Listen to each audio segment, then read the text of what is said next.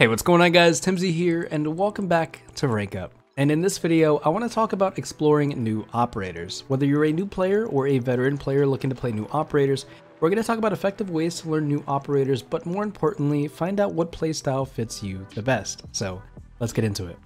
So with Siege entering its 7th year, there are a lot of operators to choose from, and it can be a bit overwhelming trying to decide what type of operators fit your playstyle the best. So I'm going to break down every operator into three different roles in order to help you find what operators work best for you and fits your playstyle.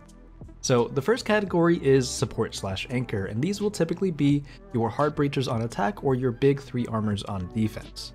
Now the second category is entry slash roam, and these will typically be the first operators in the building taking those initial gunfights to take that map control, or on defense those will be the ones roaming around the objective and not playing in the site.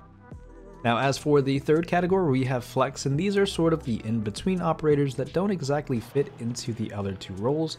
Although they may share some similarities with the other two, they have a place of their own. So now that every operator is broken up into three roles, what playstyle corresponds to each role?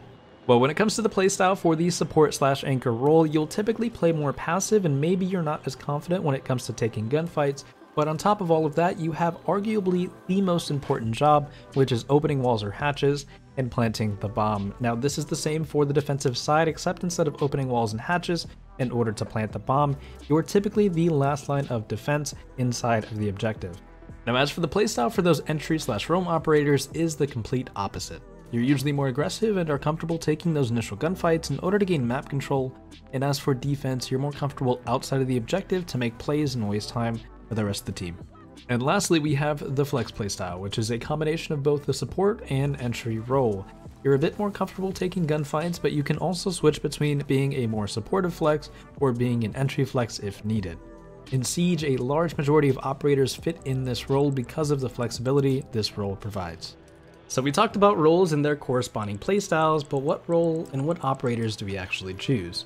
Well, if you're new to Siege or enjoy a more passive playstyle, I recommend starting off with the support slash anchor role because it's an easier role to pick up and you can spend more time learning the maps as well as the operators while doing so. Now as for operators, I recommend starting with any of these. That's going to be Thermite, Hibana, Ace, or Thatcher for attack, and any of these, Echo, Maestro, Rook, or Doc for defense. And if you're a seasoned Siege player, I recommend moving up to the entry slash roam role because it requires a lot of map knowledge and game sense in order to be played effectively. And the best operators are Zofia, Iana, Ash, and Sledge on attack, and Jaeger, Vigil, Valkyrie, and Melusi on defense. Now, if you're somewhere in between, I recommend moving up to the flex role because this allows you to break out of that supportive shell and start branching out to the more aggressive operators. And speaking of which, I recommend checking out the Nomad, Flores, Osa, and Twitch on attack, as well as Bandit, Kaid, Smoke, and Aruni on defense. Now, I do want to point out that you should play whichever role you are most comfortable with and that you enjoy the most, but I do recommend trying out every role at some point just to get a better understanding of the game as a whole. Anyways, guys, that's going to be all from me. Thank you so much for watching. I hope you all enjoyed, and I will see you guys in the next one. Peace.